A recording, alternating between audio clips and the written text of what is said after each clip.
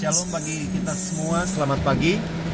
Hari ini kota Manado dilanda hujan deras, kurang lebih tiga jam sudah, dan saya percaya bahwa setiap keadaan, setiap situasi yang terjadi dalam hidup kita, tak lepas daripada kontrol dan pengawasan dari Tuhan.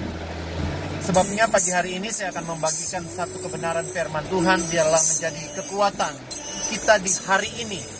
Kita berkata bahwa di dalam Yesaya 43 di situ dikatakan bahwa Tuhan yang memanggil kita, Tuhan yang memilih kita, Tuhan yang menetapkan kita.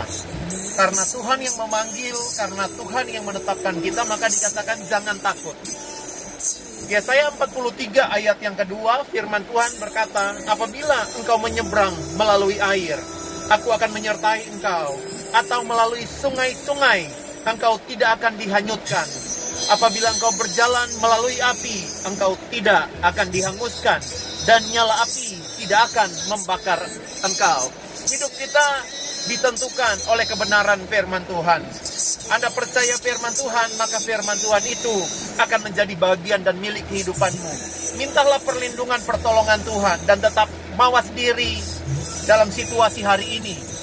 Bahkan Alkitab pun berkata di dalam Mazmur 91 bahwa Tuhan tempat perlindunganku, kubu pertahananku, Allahku yang kupercayai. Sungguh dialah yang akan melepaskan engkau dari jerat penangkap burung, dari penyakit sampar yang busuk. Dengan kepaknya dia akan menundungi engkau. Kesetiaan ialah perisai dan pagar tembok.